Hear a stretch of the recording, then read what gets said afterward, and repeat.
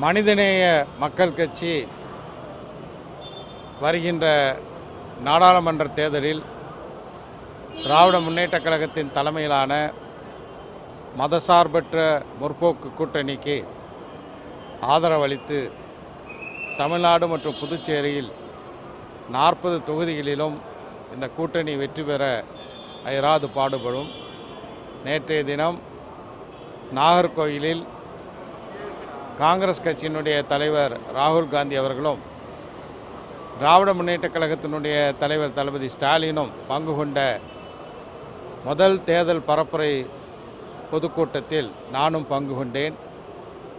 ராகுல் காந்தி அவர்கள் தமிழகத்தை மிக சிறப்பாக காங்கிரஸ் ஆட்சிக்கு வந்தால் பொருளாதார ரீதியிலும் சமூக ரீதியிலும் உயர்த்துவதற்கு அருமையான திட்டங்களை எல்லாம் நேற்று அறிவித்தார். அந்த பொதுக்கூட்டத்திற்கு வந்திருந்த காங்கிரஸ் தலைவர் ராகுல் காந்தி அவர்களை வரவேற்றதுடன் நாட்டு நலன் சார்ந்த பல்வேறு கோரிக்கைகள் அடங்கிய மனுவை அவர்களுக்கு அளித்திருக்கின்றேன். குறிப்பாக யூபி யுஏபிஏ என்ற சட்டத்தை வாபஸ் வாங்க வேண்டும். அது மட்டுமல்லாமல் பேராசிரியர் குண்டு தலைமையில் சிறுபான்மை மக்களுடைய முன்னேற்றத்திற்காக அளிக்கப்பட்டிருக்கக்கூடிய பரிந்துரைகள் அமல்படுத்துவதற்கு காங்கிரஸ் கட்சி நடவடிக்கை எடுக்க வேண்டும் போன்ற கோரிக்கைகளை எல்லாம் அவரிடம் அளித்திருக்கின்றேன். பொள்ளாச்சியிலே நடைபெற்ற பாலியல் பயங்கரவாதம் தமிழகத்தை மட்டுமல்ல இன்று உலகையே உலுக்கி வந்திருக்கின்றது என்று சொன்னால் மிகையாகாது. இயற்கையாக தன்னெழுச்சியாக மாணவர்களும் அனைத்து தரப்பினர்களும் மிகப்பெரிய அளவிலே தமிழகத்திலே வீதிக்கு வந்து போராடி வருகிறார்கள். அப்படி போராடி வரக்கூடியவர்களை தமிழக காவல்துறையை ஏவ விட்டு அவர்கள் மீது தாக்குதல் நடத்துவது வன்மையாக கண்டிக்கத்தக்கது.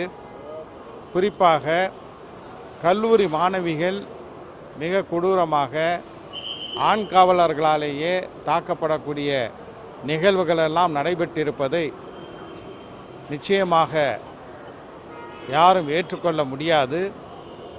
இந்த போராட்டங்களை தவிர்ப்பதற்காக விடுமுறை விடக்கூடிய அளவிற்கு தமிழக அரசு கொலை நடுங்கி போயிருக்கின்றது. இன்னும் தலைமறைவான குற்றவாளிகள் கைது செய்யப்படவில்லை. அதிமுக அரசு தான் அவர்களை பாதுகாக்கின்றது என்ற பேச்சு உண்மையாகவே வந்து கொண்டிருக்கின்றது. அது மட்டுமல்லாமல் எந்த ஒரு வழக்கிலும் பாதிக்கப்பட்ட நபர்கள் அவர்கள் யார் என்ற அடையாளம் பாதுகாக்கப்பட வேண்டும் என்பதுதான் உச்சநீதிமன்ற உத்தரவு. ஆனால் பாதிக்கப்பட்ட பெண்களை பற்றி விவரங்களை காவல்துறையே வெளியிடுவது சாட்சியங்களை அளிப்பதற்காக காவல்துறை எடுத்துக்கொண்டிருக்கக்கூடிய முயற்சியாக இதை கருதுகிறேன். சமூக வலைதளங்கள் பயன்பாட்டில் பெண்கள் குறிப்பாக மிக ஜாக்கிரதையாக அதை கையாள வேண்டிய தருணம் இருக்கின்றது. சிபிஐயிடம் இந்த வழக்கு மாற்றப்பட்டாலும் கூட உடனடியாக அனைத்து குற்றவாளிகளும் கைது செய்யப்பட்டு ஒரு விரைவு நீதிமன்றத்தில் இந்த வழக்கு விசாரிக்கப்பட்டு இதில் தம் சம்பந்தப்பட்டவர்கள் தொடர்புடையவர்கள் அனைவர்களுக்கும் உச்சபட்ச தண்டனை வழங்க வேண்டும் என்று மனிதநேய மக்கள் கட்சியின் சார்பாக கேட்டுக்கொள்கிறேன்.